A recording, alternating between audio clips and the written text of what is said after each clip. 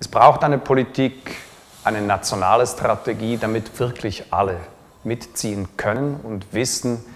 dass diese elementare Grundlage für Kinder entscheidend ist für ein ganzes Leben. Das betrifft die Arbeitswelt, das betrifft das Soziale,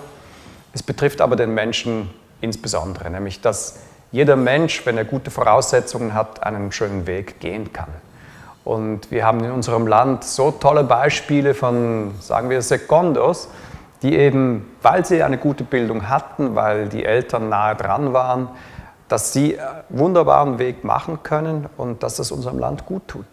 Ich bin Ready-Botschafter, weil ich als Präsident der Sozialdirektorenkonferenz der Schweiz doch ein gewisses Gewicht habe in den Fragen Soziales und jetzt insbesondere im Bereich frühe Förderung, weil das große soziale Aspekte hat und weil wir uns schon eigentlich Jahre jetzt nun mit diesem Thema befassen.